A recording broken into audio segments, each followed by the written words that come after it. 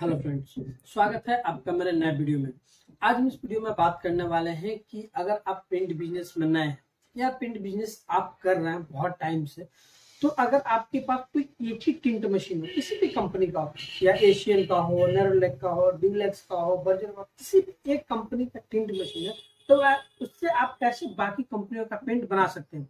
आजकल जो paint business में सबसे ज़्यादा प्रॉब्लम आता है, वो होता है टिंट मशीन का है। बढ़ते कंपटीशन के वजह से हम हर बार एक टाइम के बाद अपना पेंट ब्रांड जो होता है, वो चेंज करते हैं, जो एशियन में, वो नेरोलेक में जाते हैं, जो नेरोलेक में, वो बर्जर में जाते हैं, जो बर्जर में, वो डिलक्स में जाते हैं। इस तरीके से एक, दो, तीन ब्रांड से काम करना शुरू कर देते हैं। क्योंकि अगर आप किसी भी एक ब्रांड पे फोकस करते हैं तो वहाँ पे इतना ज़्यादा मार्केट कंपटीशन होता है कि आप एक अल्टरनेट कंपनी ढूंढते ही है, जहाँ से आप मार्केट कंपटीशन से बचे।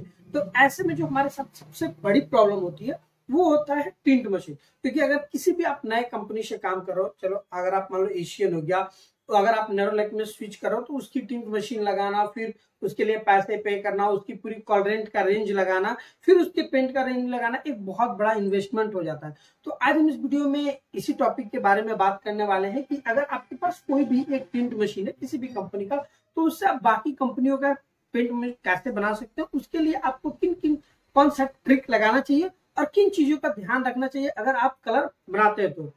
ये वीडियो जो मैं बना रहा हूँ, इसके लिए कोई भी आपको ऑफिशियल या फिर कोई भी वैसा पेपर नहीं मिलेगा जिसमें आपको ये लिखा हो कि आप एक ही मशीन से बाकी कंपनियों का प्रिंट बनाए।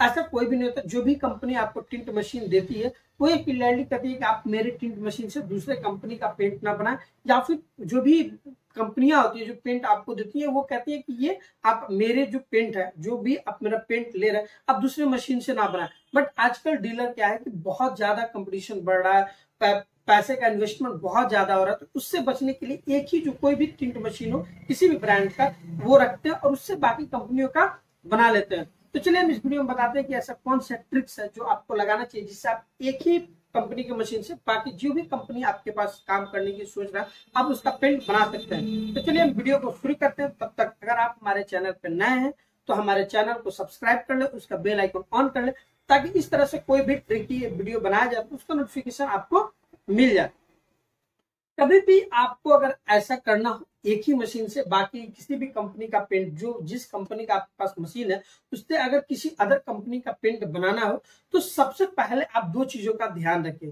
पहला प्रोडक्ट कंपेयर कोई भी आप कंपनी से ले रहे हैं, जिस मशीन से आप पेंट बना रहे हैं, उस मशीन के प्रोडक्ट और जिस कंपनी का आपको बनाना है जैसे अगर मैं मान के चलिए एशियन की मशीन से बना रहा हूँ, और हमको अगर नेरोलेक का पेंट बनाना है तो इन दोनों का प्रोडक्ट कंपेयर लें कि किस रेंज का प्रोडक्ट उस कंपनी में कौन सा रेंज में आता है।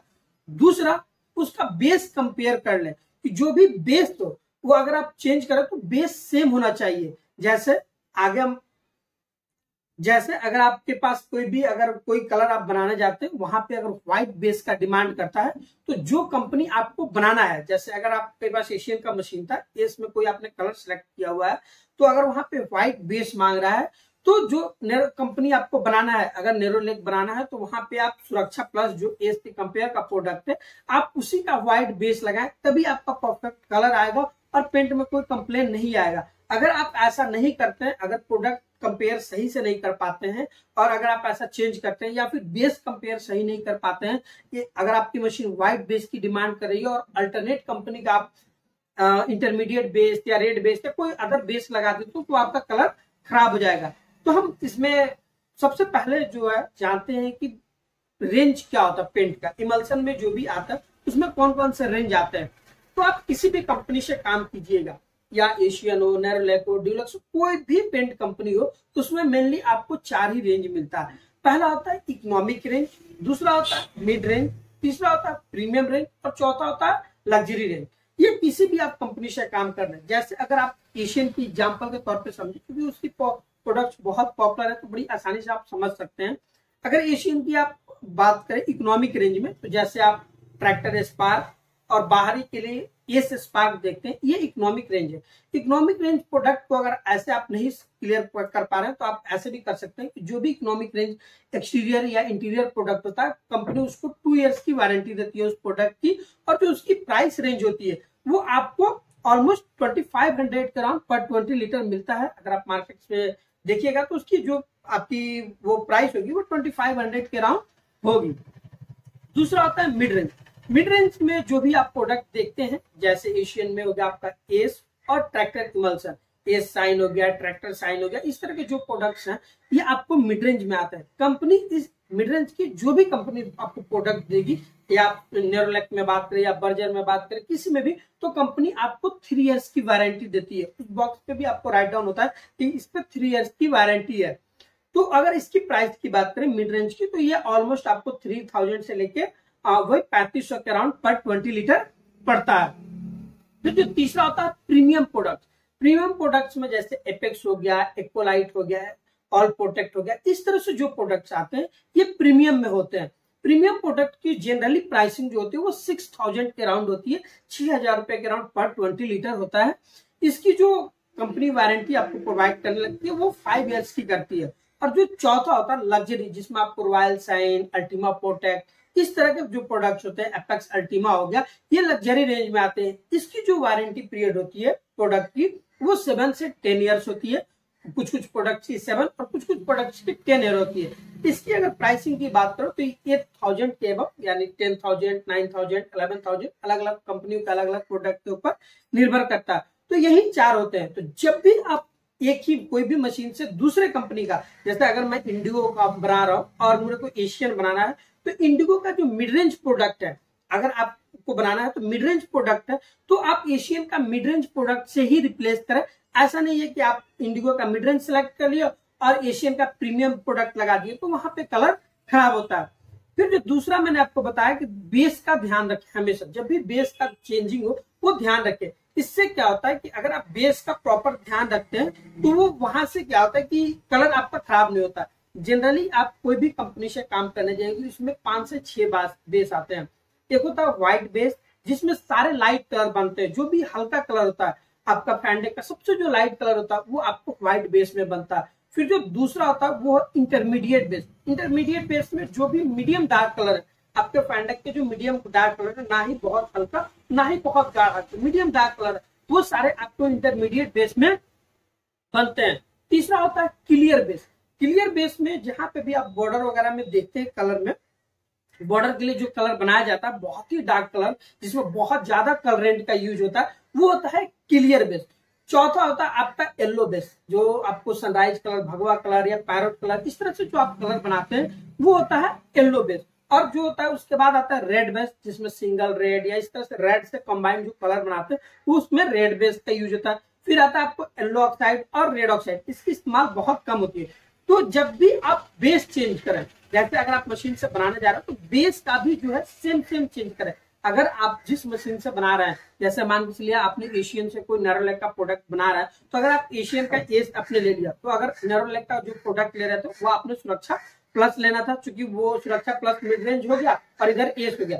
अगर दोनों का आपने कंपेयर कर लिया, चलिए प्रोडक्ट पहला काम हो गया प्रोडक्ट कंपेयर जो दूसरा काम था हमारा, वो था आपको बेस कंपेयर तो जैसे आप प्रोडक्ट कंपेयर कर लेते हैं तो जो बेस है, जैसे आपने कोई कलर बनाना था तो वहाँ पे व्हाइट बेस का डिमांड आ गया। जैसे लाइट पिंक कलर आपको बनाना है तो व्हाइट बेस का डिमांड आ गया। तो जैसे आपको व्हाइट बेस आता है तो आप सुरक्षा प्लस का जो व्हाइट बेस है जो व्हाइट बेस हो, वहाँ पे जहाँ टिंट मशीन है आप वहाँ पे लगा के कलर को टिंट कर दे, बिल्कुल ही सेम कलर आता है। थोड़े बहुत अल्टर होते हैं, आपको बहुत ज़्यादा उन्नीस बीस का फ़र्क मिलेगा जो आप पता नहीं लगा सकते हैं। मैं फिर कह रहा हूँ, अगर आप ऐसा कर रहे हैं तो कंपनी इसके लिए अलाउड नहीं करती है। हाँ लेकिन ऐसा भी नहीं है कि डीलर्स नहीं करते आपको मैक्सिमम डीलर ये करते हुए मिल जाएँगे कि एक ही कोई टिंट मशीन होगा, उनके पास अगर टिंट मशीन भी बहुत सारा होगा अगर उनके पास एशिया नर्लेक बर्जे सारे टिंट मशीन होगा, फिर भी वो यूज़ किसी एक ही टिंट मशीन को करते हैं बाकी सारे वैसे ही स्टॉक में पड़े रहते हैं। तो सारे मैक्सिमम डीलर ऐसा ही करते हैं जो उनके पास पाँच छह कंपनियों का या तीन से चार कंपनियों का काम करते हैं, वो इसी तरह से करते हैं। प्रोडक्ट को सिलेक्ट करते हैं और फिर उसी कंपेयर का नेक्स्ट कंपनी में जो प्रोडक्ट होता, उसको सेम बेस से रिप्लेस करके और बनाते हैं। तो हम डेमो के लिए आपके कलर पे दिखाते हैं कि कैसे है, करना है और आप उसको और समझ पाइएगा। जैसे आपके स्क्रीन पे जो एक दिख रहा होगा, हमने यहाँ पे एक कलर सिलेक्ट कर लिया। जो आपका भी स्क्रीन पे दिख रहा है, हमने यहाँ पे कोई कलर सिलेक्ट कर लिया, जैसे zero one one two one two two. जैसे हमने यहाँ पे इंडिगो का ये मशीन था तो मैंने आपको कहा सबसे पहले प्रोडक्ट कंपेयर कीजिए। तो चलिए हम यहाँ से देखते हैं, ये जो आज हम पेंट कलर बनाने वाले हैं, वो एशियन की एस में बनाने वाले हैं। तो एशियन का जो एस है, वो एशियन का मिड रेंज प्रोडक्ट है। तो यहाँ पे हमें इंडिगो का मिड रेंज भी प्रोडक्ट ढूंढना पड़ेगा, जो तीन ईयर की वारंटी की होती है। वो आप कंपनी से अगर कंपेयर करवाइएगा किसी भी कंपनी से तो वो आपको कर देगा। तो आप क्या कीजिए, यहाँ पे सबसे पहले मिड रेंज प्रोडक्ट को सिलेक्ट कीजिए। और जब जैसे आप मिड रेंज प्रोडक्ट को सिलेक्ट कीजिएगा तो यहाँ पे आपको आ जाएगा इंडिगो एक्सटीरियर इमल्सन गोल्ड जैसे आप इंडिगो एक्सटीरियर इमल्सन गोल्ड को सिलेक्ट करते हो तो यहाँ पे आपको बेस आ गया आईसी सेवन तो जिस मशीन पे, जहाँ पे आप इंडिगो का पिंड बनाते थे तो जहाँ पे आप आईसी सेवन लगाते थे, वहाँ पे आईसी सेवन ना लगा के, जो एशियन एस का व्हाइट बेसी एस टू उसको लगा दो और डिटो परफेक्ट सेम कलर आएगा, कोई भी दिक्कत नहीं होगा। तो आप ऐसे चेंज करके आप कलर बना सकते हो और एक ही मशीन से मैक्सिमम आप देखिएगा, कहीं पे भी एज ए कस्टमर आप जाके भी विज़िट कीजिएगा उस शॉप पे, जहाँ पे चार पाँच कंपनियों का कॉम्बो में प्रोडक्ट्स रखा हुआ, आप देखिएगा कि एक ही मशीन से सारे प्रोडक्ट को बना रहे हैं। तो अगर आपको ये वीडियो समझ आई है, आपको इन्फॉर्मेटिव लगी है तो आप हमारे वीडियो को लाइक करें कमेंट करें और अपने दोस्तों के बीच शेयर करें। हम आगे आपको बहुत ही जल्द जो नेक्स्ट वीडियो लाएँगे, जिसमें हम आपको बेस भी बताएँगे और बहुत सारी कंपनियों का जो पॉपुलर कंपनी है, जैसे एशिया नेरोलैक बर्जर ड्यूरोप्स उनके जो प्रोडक्ट्स के कंपेयर है, हम उसको भी बताएँगे। तब तक के लिए नमस्कार।